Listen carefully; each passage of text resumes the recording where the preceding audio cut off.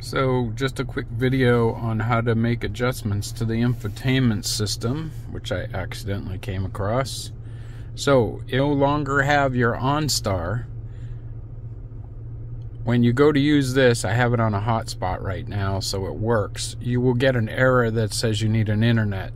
Very annoying. If you want to remove this, just hold your finger on it and drag it and drop it on the screen in the middle, it disappears.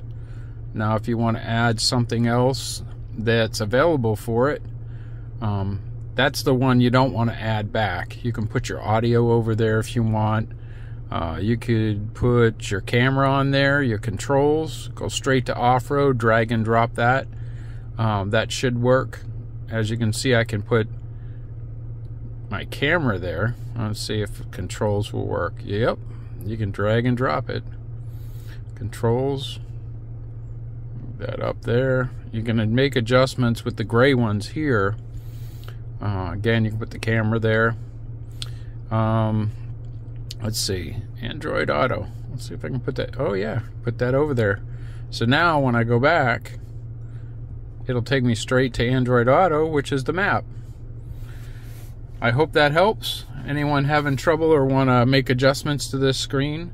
Also in the settings, when you go into the vehicle settings, um, I'm trying to find which page that's on, but when you go into the vehicle settings, right here, and if you notice when you had your OnStar, there was a speed limit uh, sign on there.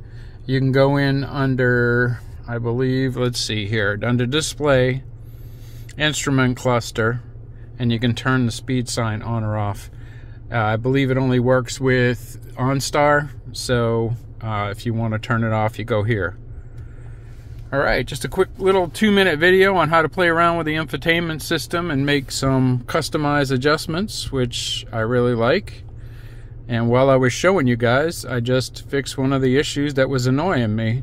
Literally put my Android Auto right over here.